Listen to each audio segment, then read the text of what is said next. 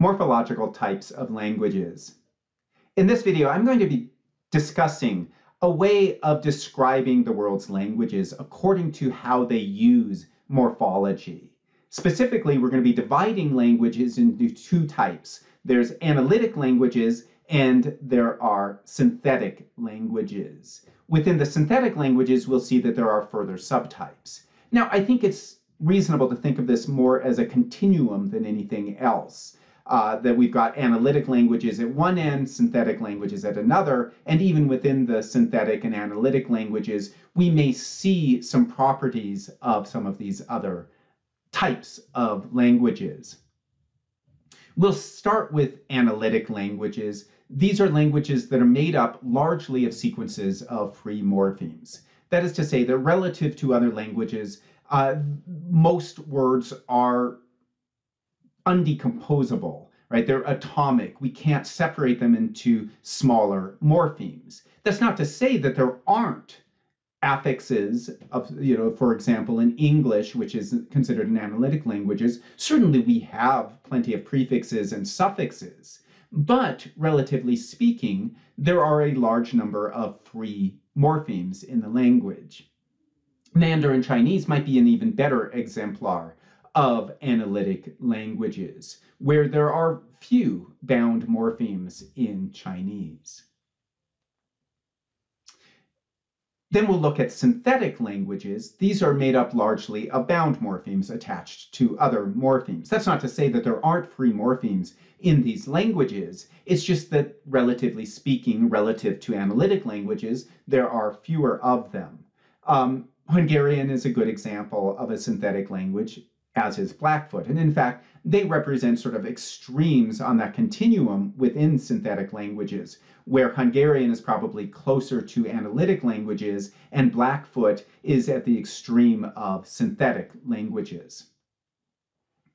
So we'll start with the agglutinating languages. Again, these are the closest to the analytic languages. This, this is the case where many words, perhaps the majority of words, contain several morphemes, but the morphemes are easily divided into roots and affixes. In other words, it's easy to tell where one morpheme ends and the next begins. It's kind of like you're just gluing these affixes onto the root, hence the name agglutinating.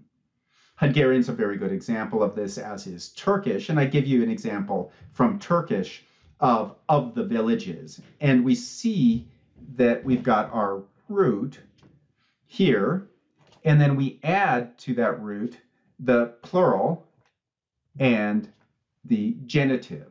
And so each one we can see where the morphemes begin and end. Fusional languages are kind of similar in that you've got plenty of bound morphemes, affixes attaching to stems. But the thing is, it's harder to distinguish morpheme boundaries as the morphemes have, in a sense, fused together. Romance languages are, are good examples of fusional languages, as are some of the Slavic languages like Russian. And so I've got an example here where we want to look at the final word, which is the feminine singular accusative of hand. And our root was probably that ru, and our affix is probably that ku. But the thing is that that ku has wrapped into it many different functions. When we look at the agglutinating languages, we would be able to separate all of those functions. So singular is going to have a different um, morpheme, say, from accusative. And so you could tell what was the accusative marker, what is the feminine marker, what's the singular marker, and so on.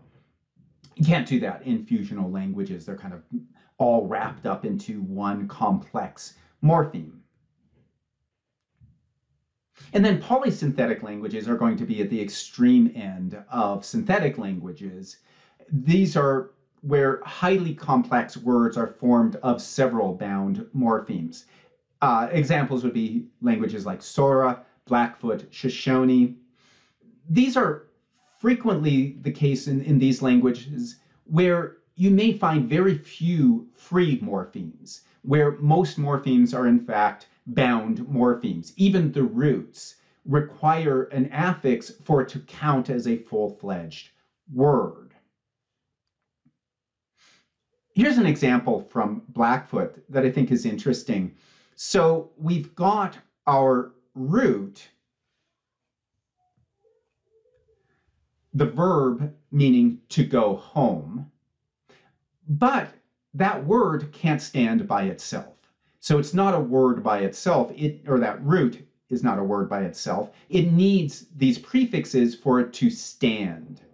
So you've got the plural marker here, and you've got the subject marker here, creating this sentence, I'm going home. And in many of these polysynthetic languages, you can find extraordinarily complex sentences that consist of a single word.